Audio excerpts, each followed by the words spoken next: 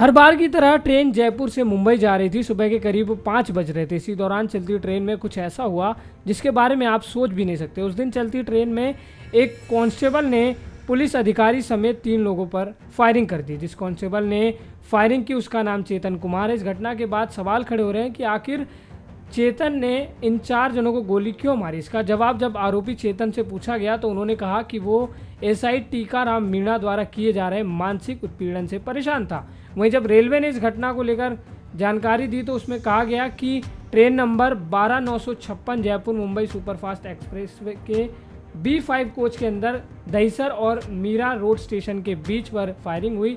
पश्चिमी रेलवे ने एक बयान में कहा कि escort staff constable Chetan Kumar ने अपने सहयोगी एस्कॉट प्रभारी एसआई टीकाराम को गोली मारने के बाद दहीसर के पास अलार्म चेन खींचकर भागने की कोशिश की।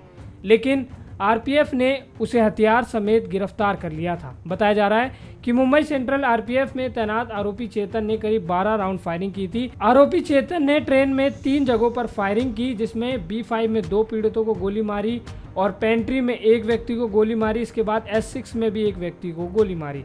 जानकारी के मुताबिक आरोपी चेतन सोमवार सुबह ढाई बजे सूरत रेलवे स्टेशन से Jaipur Mumbai central superfast express में चढ़ा।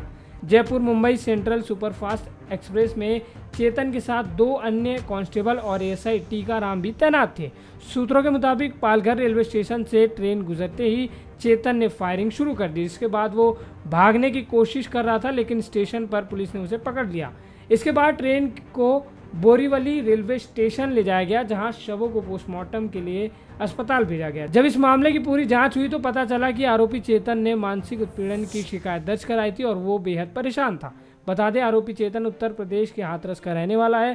पहले उसकी पोस्टिंग गुजरात में थी। जब से चलती ट्रेन में पुलिस की तरफ़ से फायरिंग की बात सामने आई, तब से ट्रेन में यात्रा करने वाले यात्री बेहद डरे हुए हैं।